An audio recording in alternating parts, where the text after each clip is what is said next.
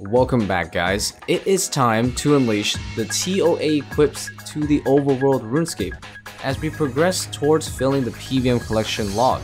I will be testing new equips and figure out where they shine most and hopefully find some best in-slot uses for them too. The first item I want to cover is the Lightbearer this video. It only makes sense because I got that drop first. This ring is, I would argue, the most powerful ring in the game because not only does it easily beat out the other rings in a lot of PvM situations, but it's also great for skilling too. If you are excited to see how the other TOA items are going to perform throughout RS, like the Fang and the Shadow, do let me know by liking this video and subbing so you do not miss out. Before we get deep into exploring just how good the Lightbearer is, let me quickly cover our TOA progress up to now. Ah, dang, I took a hit. No, it was so perfect. Alright. Oh my god, a purple. I'll take anything, anything. Not shadow though, no shadow.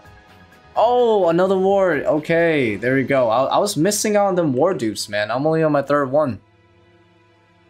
Well, okay, 37.30. That's really fast. That's two and a half minutes. So this 425 is definitely a lot faster. Oh shit, we got a purple. Raids 3 luck is nutty. What do we get?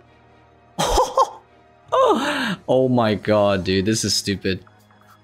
This is literally stupid, man. I don't even, like, I'm tired today, so like, I'm not as enthusiastic, but like, what? I can't believe I got another shadow. This is actually dumb. I don't think I'm gonna keep this one, to be honest. I don't think I'm gonna keep this one. Because I, I could do with some bond money. I could do with some bond money. But, uh, okay, we just got another staff. You know, three staffs. I, I don't know. Honestly, no idea what's going on here. Man, when, when I get lucky, I get really lucky. I guess. Like, holy. Gonna take a quick break and do some AFK Vyres for shards, but in the meantime, check out today's sponsor. Wireless technology is the future. That includes earbuds too. Let me introduce you to Raycon earbuds. They last 8 hours before needing a recharge, easy Bluetooth pairing, and a comfortable fit. Personally, I use these for calls with friends and family as it's super convenient for when I'm eating downstairs. It's perfect for when I go running as well while listening to music or other physical activities. Raycon earbuds come with noise isolation mode for when you really want to vibe to your music in awareness mode for when you want to hear what's going on around you during multitasking sessions. Their wireless earbuds, headphones, and speakers comes with premium sound, comfortable fit, and up to 54 hours of playtime before charging at a much more affordable price than the competitors. Click the link in the description box or go to buyraycon.com slash rice and use code EARLYBF to get 20% off site-wide or save even bigger and get 30% off Raycon's exclusive holiday bundles. My favorite bundle though is the All-Star bundle. It's got the everyday earbuds and the fitness earbuds, perfect for day-to-day -day multitasking and when you gotta go out to do some exercise. Yeah, this is definitely the play then. We are saving a lot of time with thralls, but it doesn't make the raid more challenging. So just adding the timer back gives me the 425 back, and I also make the bosses a little less hard. And you, I save quite a few minutes, like like two to three minutes doing it this way. Wow, for a back-to-back. -back. Ah, oh my god, I'm so confused. if you guys are watching this the whole time, you're gonna be like, is this how it's supposed to be? No, it's not. I'm just stupid. I'm just stupidly lucky right now. Honestly, what, what we get here? Oh, my fourth mask. Okay, I deserve I deserve a dupe. You know what I mean? I deserve a dupe. I just got a fourth mask. Wow. Yeah, damn, that's still so fast. Holy shit. Yeah, this is definitely the way to go. A lot faster than the original ones I ran. Consistently, we've been getting like 36 minutes, 37, so... Nice, 200 expert KC though. That's a good stopping point, right? Because we are not getting another purple. No way, back to back to back. I, I can't believe this, dude. We, we've gone back to back to back again. God. Good luck, Masori top. Dude, that'd be insane. That would be crazy. Ah, speaking of rings, there it is. I'm sorry that I stole your ring, but... That's actually stupid. Wow, 8 rings. We're gonna get to 10 rings soon at this point. Holy shit, that was so clean. I took no damage. Zero damage on that face. Hell yeah, that might have been my first time ever. That was sick. Yay, the back to back to back to back is over. Redeem myself. This is insane. the last like eight raids I've done, I've gotten like four purples. Oh, okay. All right, all right. Yeah, I'm probably gonna. Oh, and a a, a dupe, a dupe crystal. Cool. I've never gotten a dupe crystal before. All right, it is time to now go in depth into the Lightbearer portion of the video. The Lightbearer has no stats, but it has a special ability to double your special attack regeneration. There is no ring like this, which means it only takes two and a half minutes to get your special attack energy back to full instead of the usual five minutes. This application is absolutely insane because in a lot of PVM situations, special attacks of certain items truly makes a massive difference in how easy or quick you can do certain bosses. For example, certain special attack weapons like the Dragon Warhammer, Dragon Claws, Bandos Godsword, Volatile Staff, Eldritch Staff, and many others would benefit greatly from this. Also, it's useful for skilling as well since boosting with Dragon Tool special attacks like the Dragon Axe can be made easier with faster special regen. So how do you determine if you should use the Lightbearer over something like the Berserker Ring, especially in PVM? There are a few broad scenarios that are pretty safe bet that Lightbearer is the best choice. The scenario is when you do content like Chambers, where you have to use all three styles of combat pretty equally, since the Berserker Ring will only be useful a third of the time. Another scenario is if you are mainly ranging or maging. The reason why that is, is because Archers and Seer's Ring only gives accuracy, and it is better to maximize special type weapons like the blowpipe, the Zaryte crossbow, the eldritch, or the volatile staff for example. If you are in a situation where you're pretty much mailing the whole time and you are always hitting, then it's better to stick to the Berserker Ring as the two max hits will easily outdo the extra special attack damage that you'll get from the use of the Lightbearer. So with that out of the way, it is time to show you some of the sick places that I've used the Lightbearer and found amazing results while working on the PVM collection log. The first boss I want to talk about is Dagannoth Kings with the Lightbearer because in whatever scenario you decide to do, whether it's Rex only like I am because I'm only needing the Rex pet or you're tri which is the normal way to do it, it fits the Lightbearer used perfectly. So which spec weapon does it pair with amazing here? Well, the SGS if you're on a budget It'll heal your HP and prayer twice as often, because you get twice the specs, of course. But my personal favorite is the Eldritch Staff. It's amazing, because you get so much more prayer than the usual SGS, and healing is pretty easy if you have Blood Barrage, which you should anyways. So Eldritch is so nice here. I can basically stay here just using Eldritch for hours if I want. I brought prayer potions just in case, but I only use like maybe one prayer potion for like an hour with the Lightbearer Eldritch combo. So, so good. So the Lightbearer combo that I mentioned at Dagannoth is super applicable to a bunch of different places, especially if you are doing magic exclusive setup like I am right now at Kraken. I am using the Shadow as my main weapon, but the Eldritch with the Lightbearer once again is keeping my prayer going entirely on its own. I don't even have to use any prayer potions. Once again, if you are doing a lot of melee slayer tasks, just stick with the B-Ring. The Light Lightbearer isn't really going to give you that edge unless you really need HP more than DPS just to stay longer before banking, then okay, you can uh, use SGS Light Lightbearer as well over B-Ring.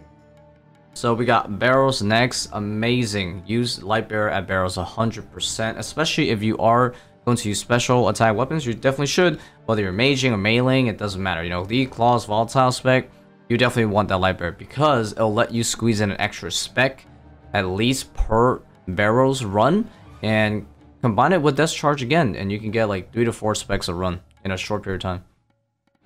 Oh yep, look at that. This is my 4 spec thanks to the spec ring. Beautiful, beautiful. This is awesome, man.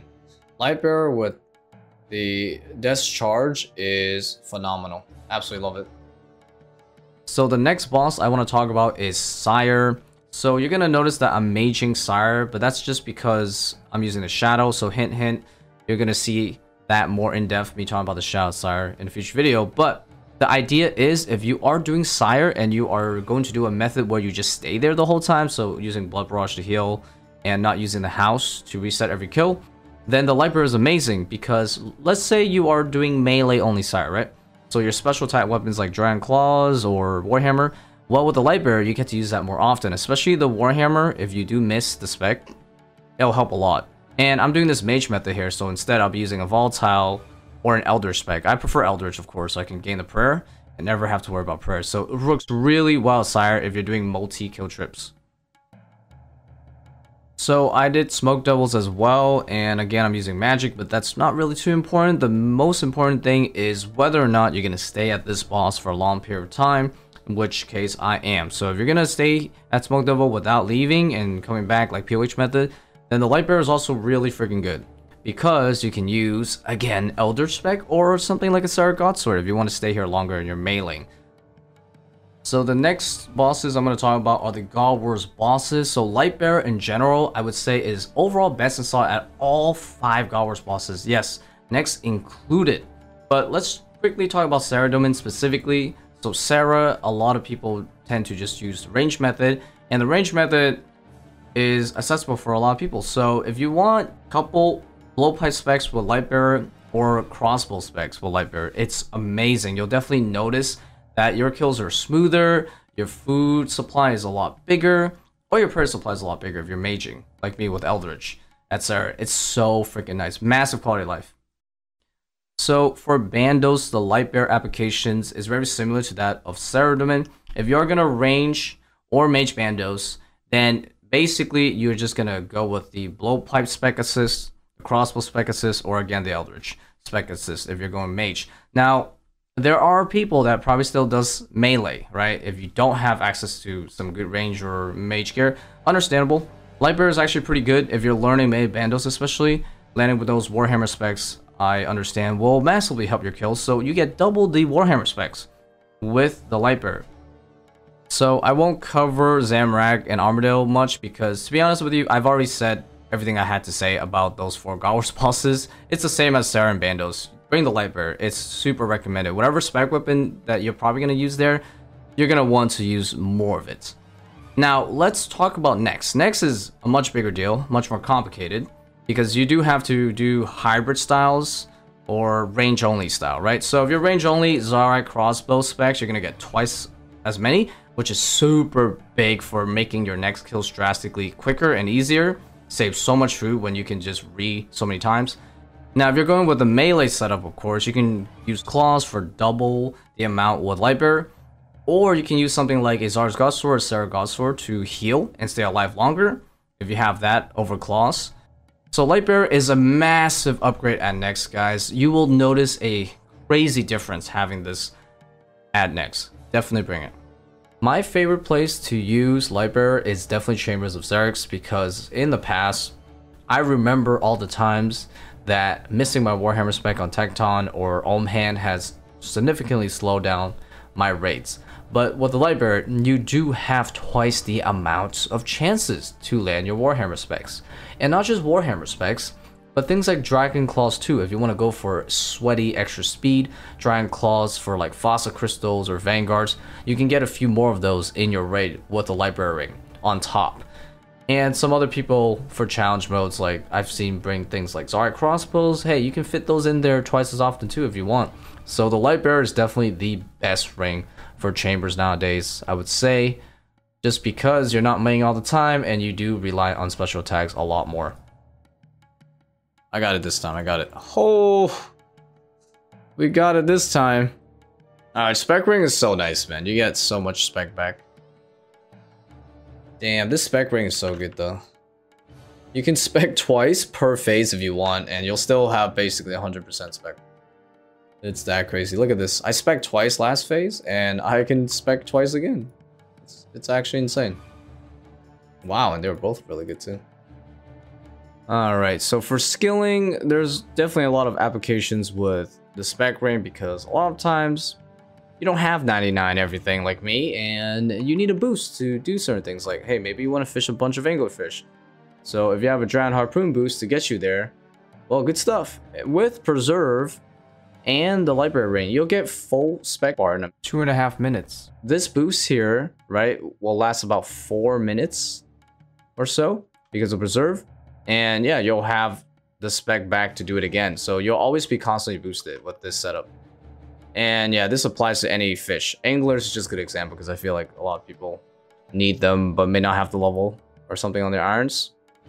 Next application is, of course, woodcutting. Same principle as what I just demonstrated with the Dragon Harpoon.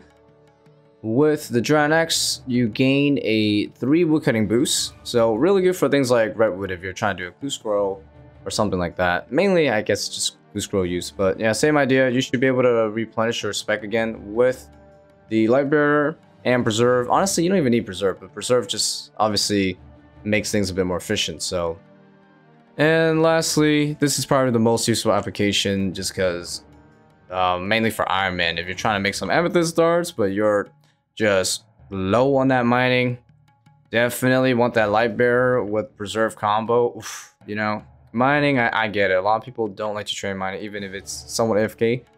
So it's not like you need the light bearer to do this method. It's just with the light bearer, you don't have to go to your house to reset your stats as often. So it's more AFK. Yep, that's it for skilling. There's probably other skilling applications, uh, but these three should be like the predominant ones. Alright guys, so as you know, we have three staffs, and there's really no point having a third staff. And yeah, just having a dupe is good enough, just as a backup if I lose it somehow. So I'm gonna just drop this over to my friend so he, she can give me the money. And uh, yeah, the money is mainly just for bonds and for paying splits for team rates and stuff.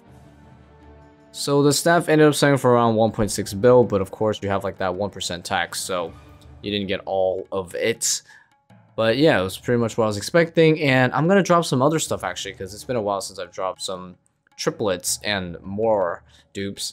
Uh, things like the lands definitely dropped a lot in price. I have triples for them, so we're gonna just get rid of a lot of those items that uh, probably will drop in price, and I don't need having all of those extra ones other than dupes.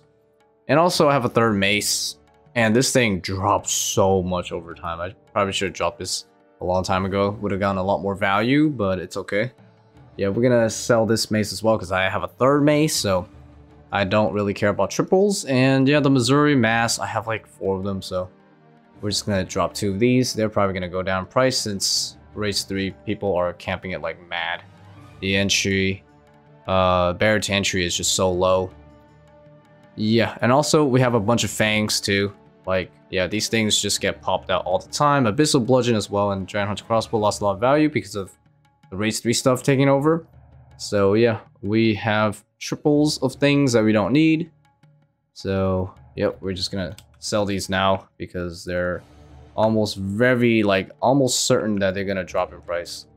So, we are going to drop all of these, and this should be about a bill value. Uh, uh, yeah, I price checked. This is about a bill value. So, all right. So we managed to get 964 mil after the tax. It probably would be a bit more, but I gave my friend the uncharged mass, which is probably worth like 20 mil or something, uh, for helping me do this. So, yeah, basically I managed to get 2.5 bill from dropping all those items. Oh yeah, I got 13 reclaim tokens, so I'm gonna reclaim this for free. Right? Yeah, sweet. I got a bunch of these uh, when they decided to let you get the pets back before the pet insurance update was a thing, so I got 13 of these apparently. I don't know how the math works, but I can die uh, 12 more times, I guess. For those of you that are having trouble with the last phase of Akkha, I recommend rotating your camera as up as you can so that way you can see it in a more grid-like pattern. And also on the third hit, immediately go middle so that way you have the least amount of steps needed to fight the boss again. So you can minimize time to dodge the balls. Oh, ah, okay. That's unlucky. I forgot the electricity thing next to the pillars can actually do damage too. What the hell is this? Okay, I'm gonna take a risk, bro.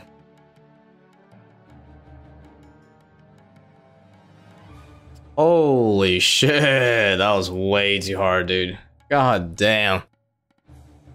Okay, that's bullshit. I was literally gonna go. What? Look at the rock! Look at this! There was only one rock. Another one showed up.